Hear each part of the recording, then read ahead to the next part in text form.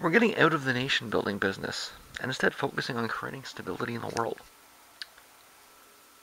That could be a direct quote from George W. Bush, and it's probably neither coincidence nor calculation.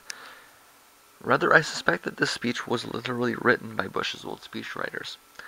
That's a quote from uh, Trump's foreign policy speech. But something else is curious. If you take away the two or three lines about trade and the opaque barbs at Obama, sounds exactly like something Hillary would say. It is curious, isn't it? Um, the idea um, of getting out of the nation building business, that was something that Bush said over and over and over again when he was campaigning.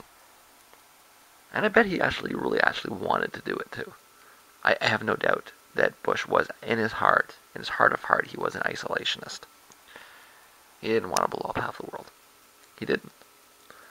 But, you know, events happened, um, and he ended up under the sway um, of people that had a plan that was already in place, right?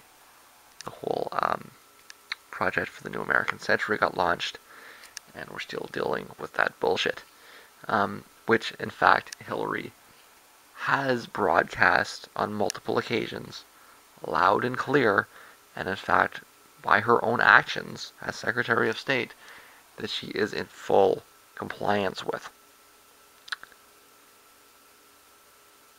So, what is this Trump speech? Kind of sounds like